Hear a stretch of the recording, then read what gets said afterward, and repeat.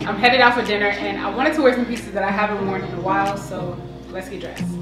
Even though we are well into December, it's really not cold at all outside and it's pretty gloomy and it's a little rainy. I decided to wear this jumpsuit that I picked up from Banana Republic and I'm still so obsessed with it. For shoes, these are actually pretty new. I got these from Macy's. Fragrance, I'm going with Saint Laurent. Now for my jewelry, I couldn't decide if I wanted to just do minimal or a couple of bold pieces, so I decided to do both. My earrings are David Yurman, my necklace Tiffany & Company. I got these bangles on a really great sale at J. Crew, and my ring is Jenny Bird from Nordstrom.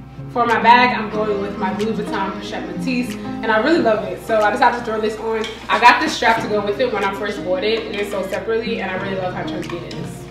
I'm wearing my favorite lip combo and the topper is my favorite right now. This Bobbi Brown oil infused lip gloss. This is like my favorite color and I really like flavor. Here's the outfit, it's comfortable, it's cute and perfect for this rainy evening.